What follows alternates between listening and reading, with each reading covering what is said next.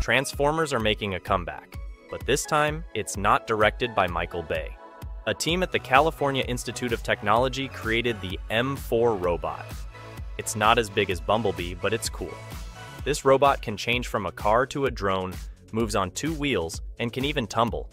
They're still figuring out its size, but it has a lot of potential.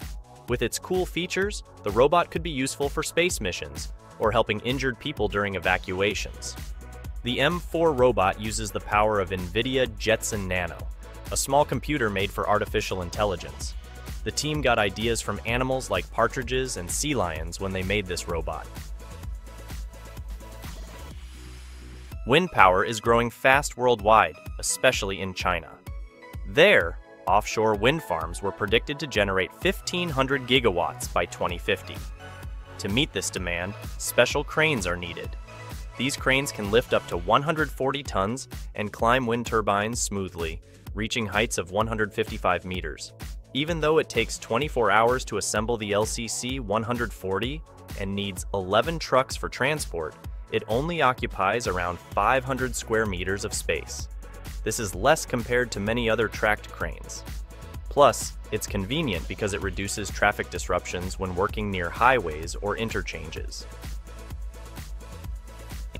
Flamethrowers are super popular now, with even Elon Musk's company, The Boring Company, selling them. They made a crazy $10 million in just four days. Now, we're curious to see how much the new product from Throwflame will make. They also sell flamethrowers and had the idea to merge them with a robotic dog, creating the Thermonator.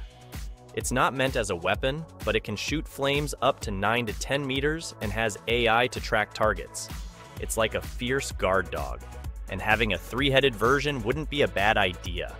The creators haven't said the price yet.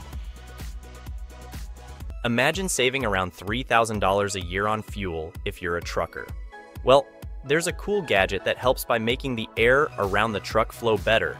This reduces the effort needed to move and cuts fuel use by about 5%. The best part is, the driver doesn't have to do anything because it adjusts itself based on how fast the truck is going. You can even use it on trailers with hinged doors. The creators want to put this tech on every truck in America. They got motivated after winning second place and a $10,000 prize at the Inventure 2020 contest. Singapore has a new invention, a smart dressing that lets you check a wound without taking it off. It uses a special patch with channels that absorb wound fluid and change color. Just snap a picture of the patch with a smartphone, and AI analysis by doctors can reveal details like temperature and pH in about 15 minutes.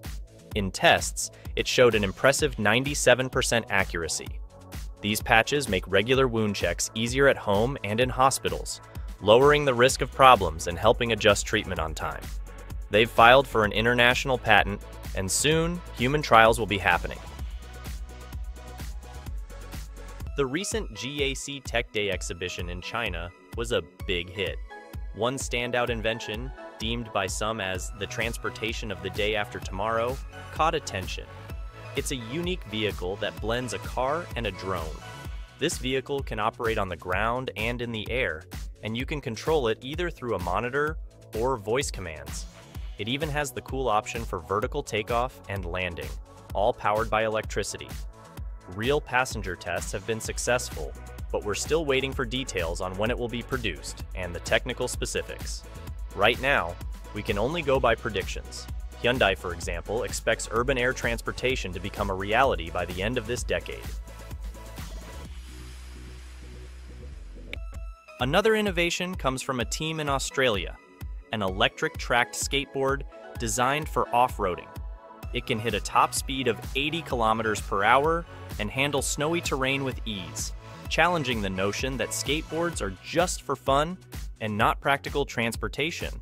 Although it only runs for about half an hour on average and has a price tag of $6,500, riding it seems incredibly cool and enjoyable.